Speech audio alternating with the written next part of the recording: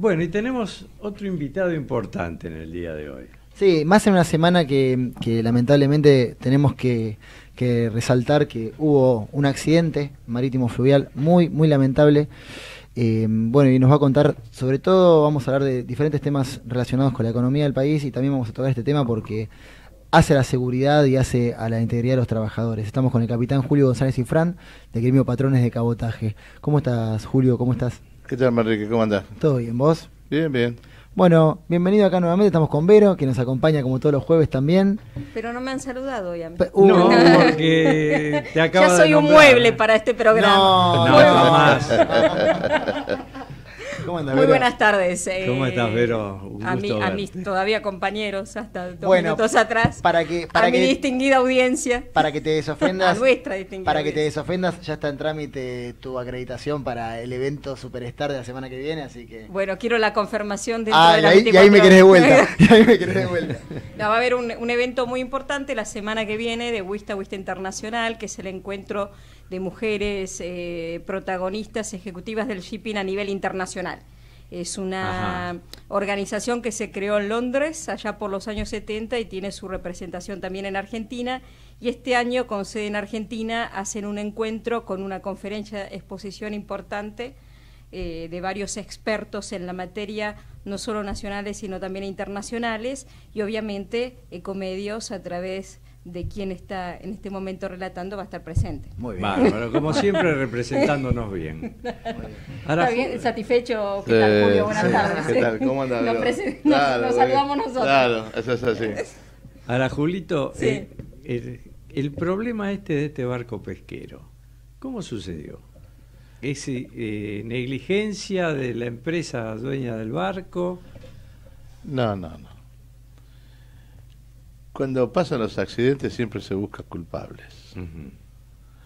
La realidad es que el barco iba navegando a la zona de pesca en lastre, le agarró un temporal importante y evidentemente no resistió los embates del mar. ¿De una vuelta de campana? O... Y es probable que se ya, pero el, el tema es que se trata de un casco de más de 50 años.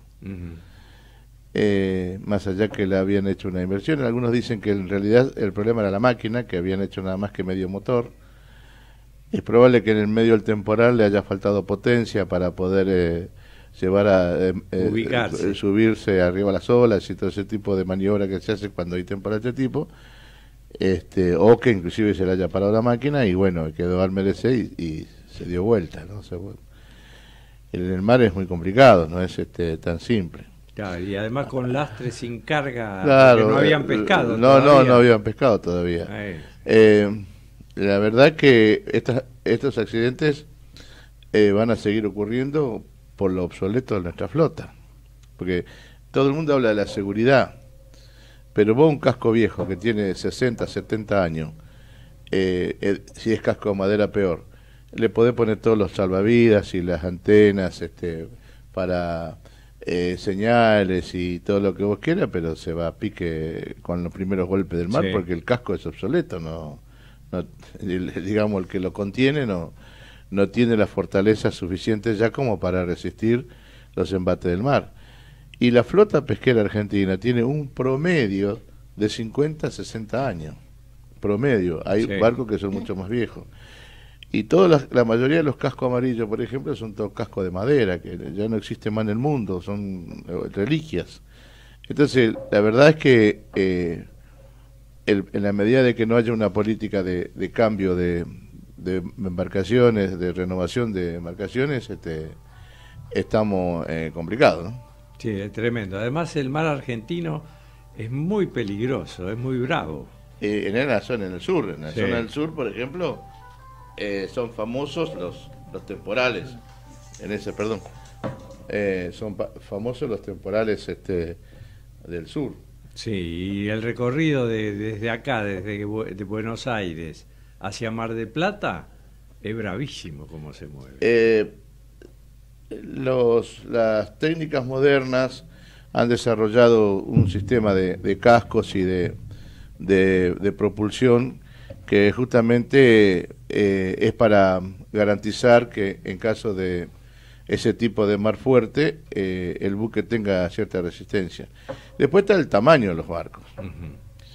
Se imagina que un barco de 23 o 25 metros de eslora eh, en, en, el mar no es nada, es una lancha, es una lancha. Y, en un mal tiempo realmente es una cascarita, no es este en medio del mar. Entonces hay todo un, tema de, de, de, flota obsoleta para empezar. Y después está el otro tema. Eh, hace tiempo se venía gestionando, bueno, ahora creo que salió ya hasta la resolución oficializada para que la gente tenga traje de protección, porque el otro problema es que vos te caes en el agua y a los 5 o 6 minutos, 10 minutos te agarra hipotermia.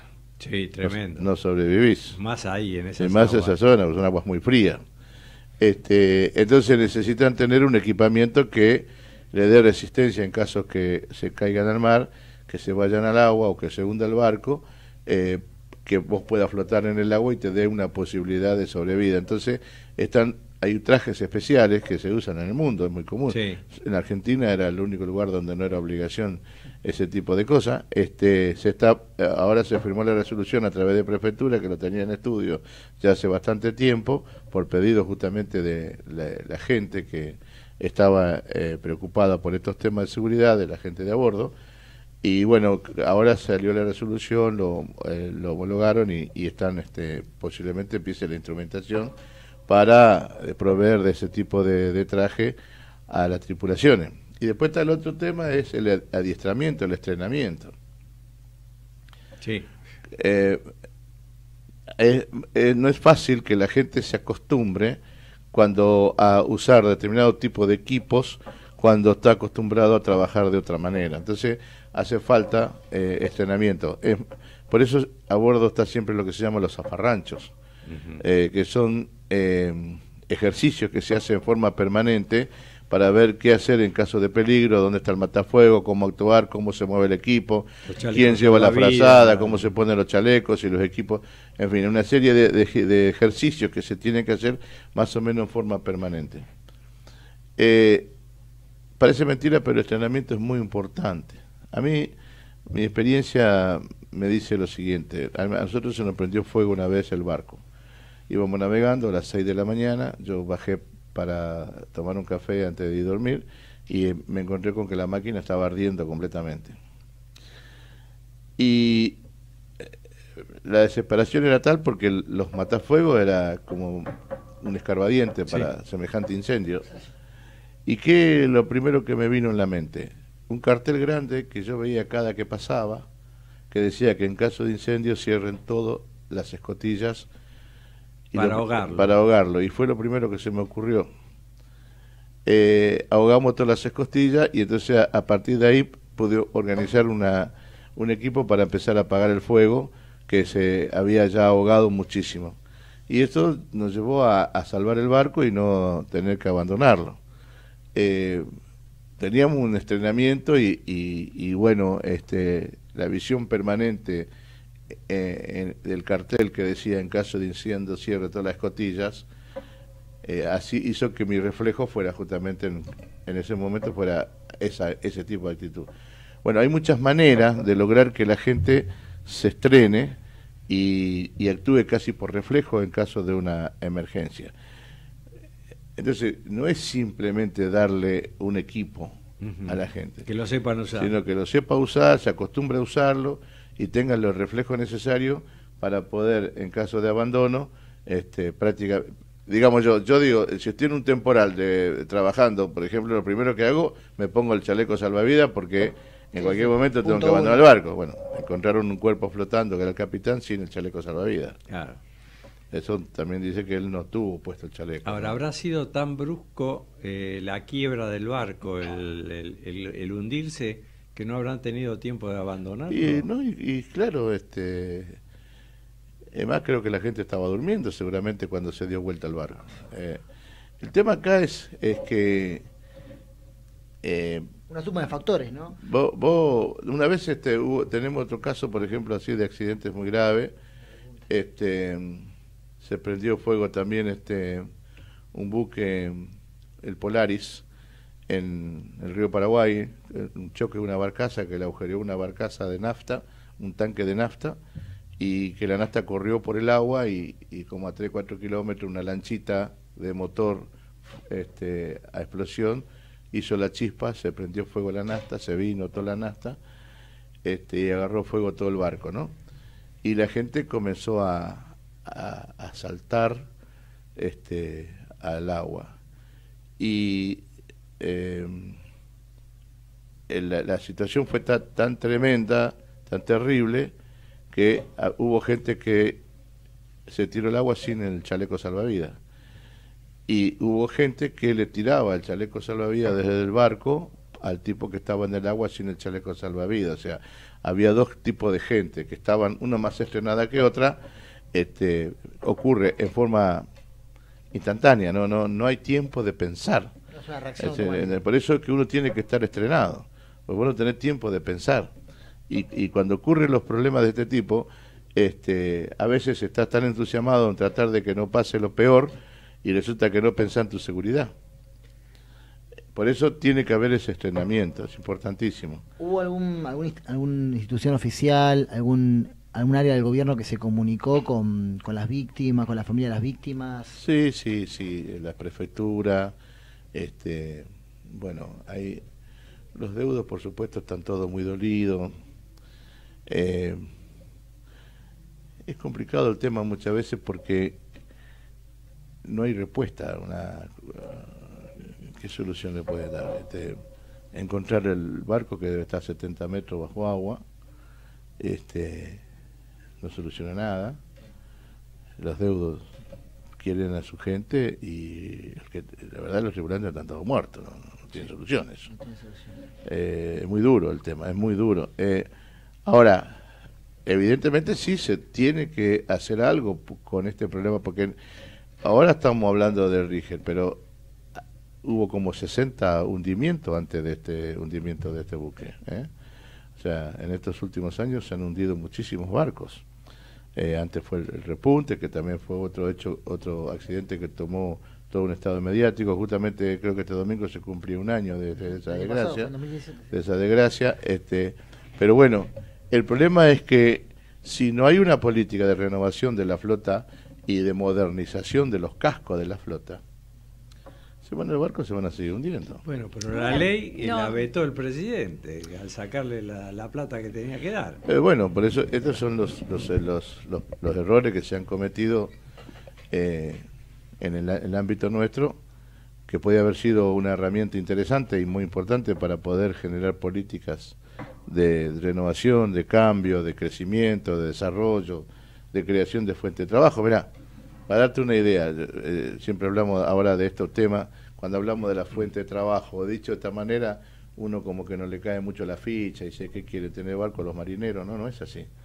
Construir un, construir un remolcador de empuje, un barco de 30 metros de eslora, es un barco chico realmente, eh, construirlo significa 84.000 horas hombres de trabajo. Uno. Construir una barcaza, que es lo más simple que hay, no lleva máquina, no lleva es un cajón, una caja con diseño, lleva 7.000 horas hombres de trabajo. Para transportar la carga en la hidrovía, el 30% de la carga que hoy se mueve, los 20 millones de toneladas que hoy se mueve por la hidrovía, yo necesito por lo menos 50 equipos o sea, remolcadores con 25 barcazas. ¿Se imagina la cantidad, los millones de hora hombre que yo genero si quiero abastecer ese mercado? Es un mercado de trabajo impresionante. Una mano de obra. Sí, y aparte, perdón, este no, y aparte todas las industrias conexas al mismo, ¿no? Porque como solamente... Naval Madre de Industrias entonces ya solo lo está diciendo circunscripto a la, construcción en el ámbito Pero naval. Los que requiere esa construcción. y, todo lo que conlleva, entonces imagínense, ¿no? Multipliquen horas lo que va a producir en fletes, en traslado de mercadería de ganancia. Y seguramente, y después del punto de vista de financiero, la entrada de, divisas que nos hace tanta falta. El tema es la generación de fuente de trabajo. Vamos a dar la dignidad del trabajo a miles de argentinos que hoy están bajo los niveles de pobreza. O sea, tienen que, ¿por, qué, ¿Por qué tenemos este 30 y pico por ciento de pobres? ¿Por qué? Porque Por la falta de trabajo. La falta de trabajo. La gente no tiene cómo insertarse en la actividad productiva. Están Ahora- absolutamente excluidos del, del sistema y hace ya Claro, tiempo claro. y en forma ca- casi perenne, ¿no? Por eso también nosotros insistimos, bueno, esto sería una forma de canalizar en forma doméstica la inversión, porque también uno de los problemas que no hay inversión de afuera, que el flujo es tan, es tan débil, aparte de los problemas estructurales que tiene la Argentina y otras cuestiones macroeconómicas que no logra cerrar, es que tampoco hay inversión doméstica. Y entonces Bueno, ese- pero con un 40% de interés que te dan en el banco, ¿quién va a invertir? Olvídate. Hay que comprar dólares. Sí, bueno, eh, Claro. estuve, estuve viendo, no, compran Levaco, compran no dólares. eh, de alguna manera festejan los números de 2017 porque eh, la, la inversión extranjera directa argentina creció en un 150%, pero en un 150% respecto al 2016 que fue paupérrimo. Sí, bueno. Es decir, el 2017 todavía ni supera los niveles del año 2000, que es un año precrisis y un año pre-mega devaluación. Entonces, y, y es más, en el año 99 se duplicaba el flujo de inversión extranjera directa medida dólares de lo que hoy tenemos, de lo que fue la medición del 2017. Claro, dicen, bueno, pero en Latinoamérica este, descendió respecto a cómo venía creciendo. Pero en realidad este número hay que verlo en forma global, porque por la dimensión que tiene la economía argentina, tendría que estar en un en eslabón más alto y en cambio es cuarto receptor de inversión extranjera directa en el mundo en Latinoamérica. Y lo superan otras economías como puede ser Colombia y Perú. Y no hablemos de los dos grandes actores que son, sin lugar a dudas, Brasil y México. Es más, Brasil Sí. está entre, entre los 10 del mundo eh, más importante ¿Y quién- como receptor. ¿Quién de- va a venir a invertir acá donde el ministro actual ahora, porque lo, lo ascendieron, Dujovne, no tiene la plata acá, la tiene afuera y quiere que vengan los demás a invertir? No sé qué opina Manrique del tema. ¿Me estás por ahí, Manrique? Sí, tío, como no. Julio, ante todo, te daré las condolencias nuestras a todos los marineros, ¿viste? Eh, lamentamos mucho la pérdida de estos, de estos compañeros. Este, bueno, te quería preguntar, Julio, si hubo una- alguna modificación sobre el tema del veto presidencial a, a la ley, que, que ustedes trabajaron tanto. No, no, no. Quedó ahí. Quedó ahí, este, está consolidado. Eso, me dijeron el otro día que estaba dando vuelta una reinscripción del artículo para eh, en la comisión de mm, asuntos este, de la bicameral, eh, pero no hay nada concreto al respecto y yo creo que cada vez aleja más la posibilidad de que haya una, una política financiera en ese sentido, porque con lo que está pasando económicamente en el país, la verdad que no creo que el fondo este, gaste plata en fabricar barcos en Argentina, ¿no? Seguro, no les conviene. Escuchame una cosa, ¿hay algún problema, digamos, que se puede resolver eh, con el paro marítimo que habían prometido en Paseo Colón la semana pasada? Bueno, lo que nosotros estamos haciendo es una protesta para poner en agenda pública la situación que atraviesa el sector. Lo interesante sería que también los armadores hagan el esfuerzo, porque son los principales este, actores en esto, ya que el negocio lo manejan ellos. Pero bueno, eh, estamos trabajando para que los funcionarios se preocupen y, pongan la lupa en este tipo de cosas, ¿no? ¿Hay alguna posibilidad, Julio, de que, de que la, la federación, todos ustedes que tienen tanto nivel de experiencia, puedan contratar este, con, con empresas internacionales pasando por encima del gobierno para hacer algún desarrollo? No, no hay ninguna posibilidad en ese sentido, porque el problema acá son las reglas de juego. Eh, Cuando nosotros hablamos de lo que necesitamos el gobierno, no necesitamos plata al gobierno.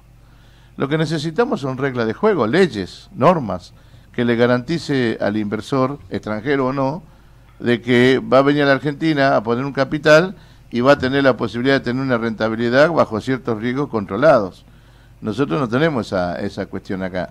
Eh, fíjate ahora, vos imaginate si hubiese venido una empresa a poner un astillero en este momento, con toda la disparada financiera que hay, el dólar ya estaría perdiendo plata antes de empezar a trabajar. Estarían llorando en la Claro, esquina. sí. eh, este, este es el problema, no hay reglas claras para la inversión. Pero El- entonces, entonces estamos en una encerrona, claro que estamos en una encerrona. porque no, no- nos obligan a ser malos y a pelear.